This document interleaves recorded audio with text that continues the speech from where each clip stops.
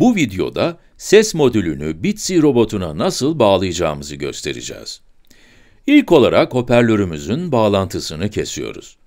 Hoparlör kablolarının uzun olması gerekiyor ve üstteki küçük delikten onları beslemek istiyoruz. Böylece hoparlörü alt tarafa yerleştirebileceğiz. Yaklaşık 15 santimetre uzunluğundaki kabloları yerleştiriyoruz ve kabloları hoparlöre lehimliyoruz. Bu 22'lik bakır kabloları sağlam bir lehim bağlantısı elde edebilmek ve hareket etmemeleri için bantlıyoruz.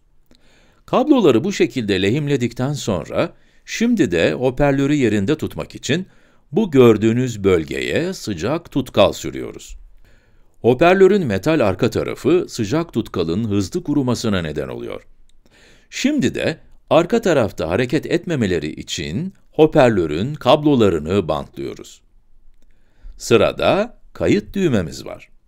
Kabloları lehimleyebileceğimiz iki metal yüzey var. Bu yüzeyler oldukça büyük ve geniş oldukları için lehim yapmak da kolay olacak. Bu sayede kayıt düğmesini Arduino'ya da kolayca bağlayabileceğiz. Kabloların ucunu sıyırıyoruz. Bunlar hoparlörün kabloları. Kabloların etrafına kablo kılıfı yerleştiriyoruz. Bu kabloları bağlantıyı kolaylaştırmak adına lehimlemiştik. Kılıfı şimdilik aşağıya doğru itiyoruz. Böylece bağlantıyı kurduktan sonra kabloların izolasyonu için tekrar yukarı çekeceğiz.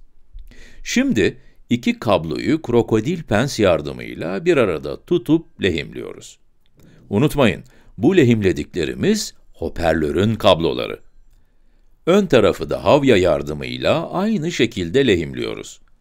İki kabloyu birbirine bağladıktan sonra, izolasyon için yerleştirdiğimiz kablo kılıfını lehim bağlantısının üzerine getiriyoruz.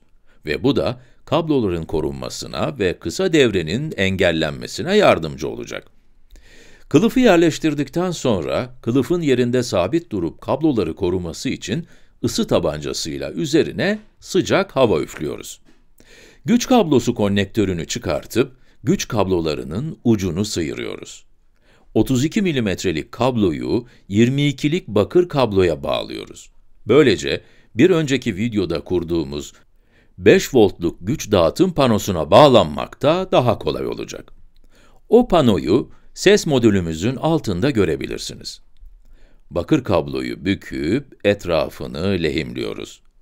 Kablo kılıfını, kabloların birbirleriyle kısa devre yapmasını önlemek için yeni bağlantı yerlerinin üzerine getiriyoruz.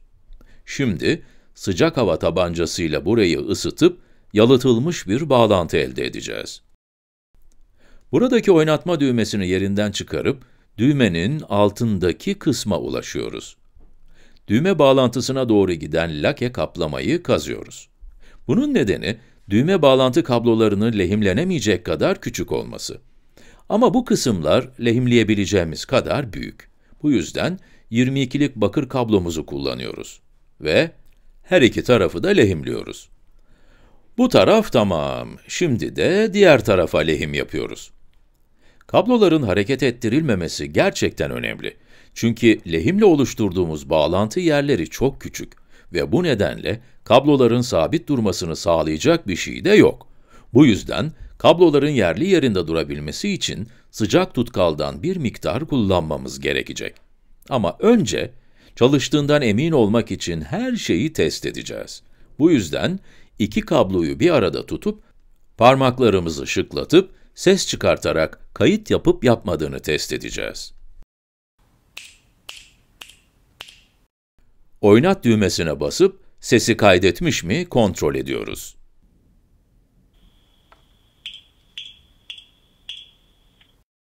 Kaydetmiş. Harika.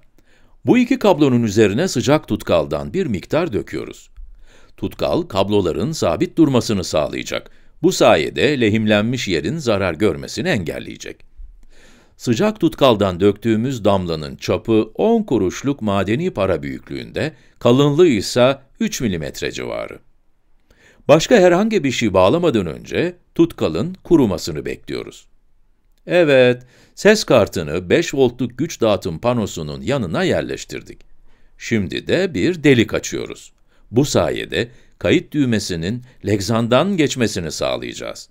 Bu da eğer Arduino kayıt düğmesini çalıştıramazsa, düğmeyi elle çalıştırmamıza yarayacak.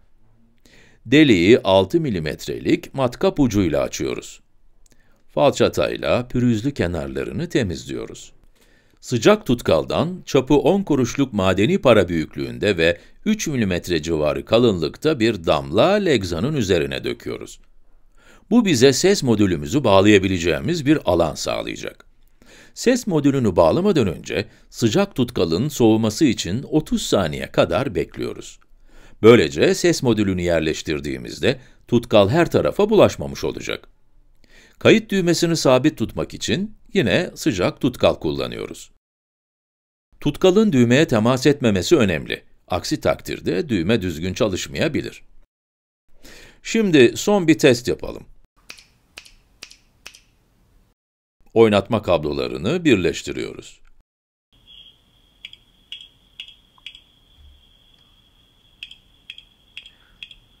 Harika. İşe yarayacak gibi görünüyor. Arduino'yu da buraya yerleştireceğiz. Vidaların üzerine koyup doğru şekilde yerleştirdikten sonra aşağı doğru iteceğiz. Karga burun penseyle buradaki somunu sıkıyoruz. Evet, şimdi de topraklama kablosunu 5 voltluk güç dağıtım panosuna bağlıyoruz. 5 voltluk pozitif kabloyu 5 voltluk dağıtım panosundaki pozitif 5 volta bağlayacağız. Bu da ses kartımıza güç verecek. Sonraki videolarda ses kartını Arduino'ya nasıl bağlayacağınızı göstereceğiz. Şimdilik hoşçakalın.